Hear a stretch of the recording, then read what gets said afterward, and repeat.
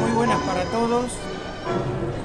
Mi nombre es Carlos, soy de Mar del Plata y tuve la suerte de conocerlo al maestro, así dicho muy formalmente, el maestro le decíamos nosotros, allá por la década del 70.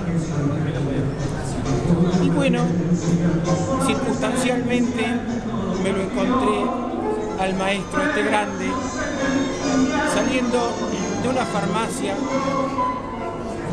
eran diez y media de la mañana, el señor hacía no mucho que se había levantado, su cara así lo atestiguaba, con un enorme paquete con fármacos en su interior. Un cargamento podría llamarse. Prácticamente sin ninguna duda.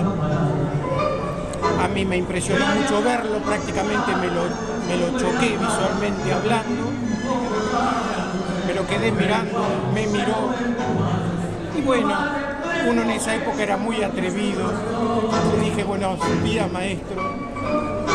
Lo seguí durante media cuadra aproximadamente. Le hice las mejores preguntas que se me ocurrieron en ese momento. Y el maestro, con su mayor bonomía, me respondió con, con una gran paciencia y un gran cariño. Bueno, es simplemente eso, es un recuerdo que lo tengo de hace muchos años y me va, lo voy a tener durante toda mi vida porque soy un gran admirador de Chupo. Eso es todo, amigos. Pero me contabas que te lo cruzabas también o te lo cruzaste también a Tito Reyes. A Tito Luciardo. A Tito Luciardo, sí. Otro grande. ¿Y cómo era eso? Podemos incorporar, a tu pedido. Tito pasó uno o dos veranos en Mar del Plata.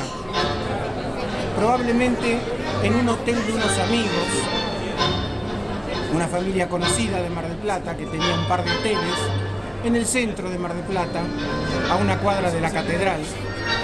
Yo tenía la suerte de vivir al lado de ese hotel y me desocupaba de mi trabajo a eso de las siete y media de la tarde, todavía de día, y don Tito estaba en la vereda, cerca del cordón, con sus dos manos en los amplios bolsillos de época, sus tiradores clásicos. Y bueno, yo, chico curioso y algo conocedor de estos temas, me le ponía al lado y le decía, hola, don Tito, buenas tardes. Él me miraba de costado me hablaba de costado como se habla en el tango, me decía, ¿qué haces, pibe?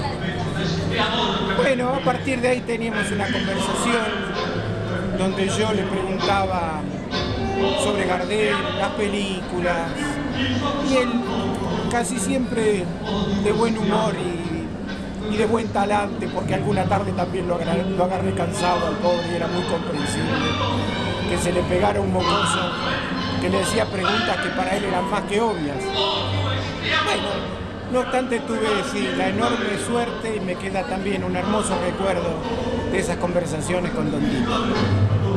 Eso es todo.